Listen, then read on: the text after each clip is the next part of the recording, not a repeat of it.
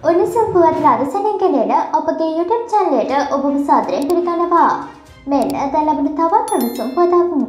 මුහුදු බඩ දුම්රිය මාර්ගයේ බේරුවල හා අලුත්ගම ස්ථාන අතර පිහිටි මස්සල පාර දුම්රිය හරස් මාර්ගය අලුත් වැඩියා කටයුත්තක් හේතුවෙන් හෙට පෙරවරු හතේ සිට පස්සර පහ දක්වා වසා තිබෙනවා. ඒ අනුව මෙම මාර්ගය වසා තිබෙන කාලය තුළ විකල්ප මාර්ග භාවිතා කරන ලෙසයි දුම්රිය දෙපාර්තමේන්තුව ජනතාවගෙන් ඉල්ලා සිටින්නේ.